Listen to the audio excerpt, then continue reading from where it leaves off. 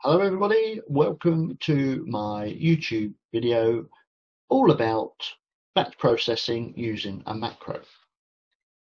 Don't forget my guide to Affinity Photo Astrophotography image processing is available on my website star-gazing.co.uk.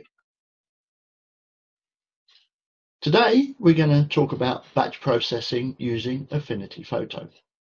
Now this saves us a lot of time when you're processing lots and lots of images. So what we're going to do, we're going to open loads of images. The way we do that, and we want to work on a number of images, we go new batch job from the file menu.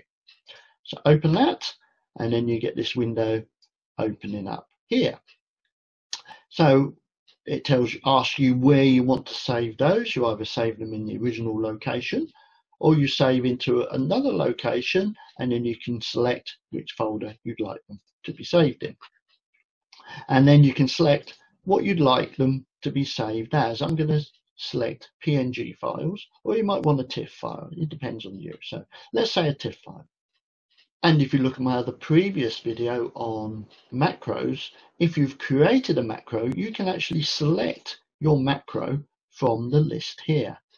So if you select the NLC adjustment, which we did earlier, and click apply, it appears on the right hand side of that window.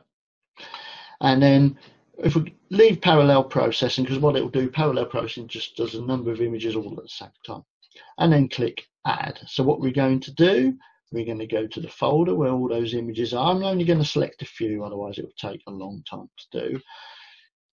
And I'm just going to select some of the raw files. Now, if you remember from the macro, when you open raw files, it automatically goes into the develop persona. If you're using the batch job, it doesn't do that. It will just work on the files and then save them.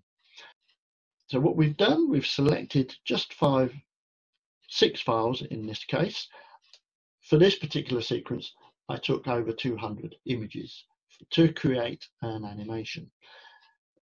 But I'm going to have to work on all 200 odd pictures and apply the same curve to bring out the noctilucent cloud really, really well. And this batch processor enables me to do that without me having to sit there and do each one one by one. Okay, so what we've done, we've told it where to save. We're going to save them into the original location. We're also going to save them as a TIFF file. And then over here, we've got applied macros and we put NLC adjustment 4, which I set up in the previous video. Once you've done that, you click OK, and then on the left-hand side, you see there's six items running, and you can add as many or as few images as you like to that, and it'll apply that macro to each image, and then it will save it as the image that you've selected in the folder. As you see, it does take a time. So 200 or more images, like I have, it can take a little while to do that. But it applies the macros to the image. So if we open one of those original images, which are some of the last ones. So I'm going to open 3775. And you can do this at the same time as it's processing. Depends on your computer, of course, because if your computer hasn't got the. Uh, so you can see it's finished one, 3772, 3771 is now finished. It saved that image. So we need to develop that. Okay, so we're opening the raw image. This is 3775.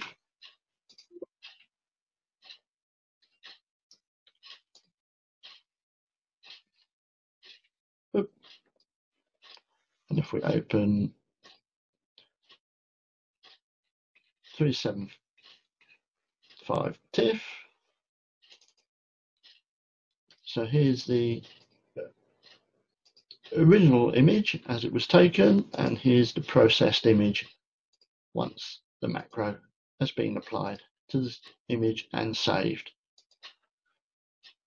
Okay, so that's it. That's how easy it is to batch process your images. And don't forget, my guide to Affinity Photo astrophotography image processing is available on my website, star-gazing.co.uk. Have fun!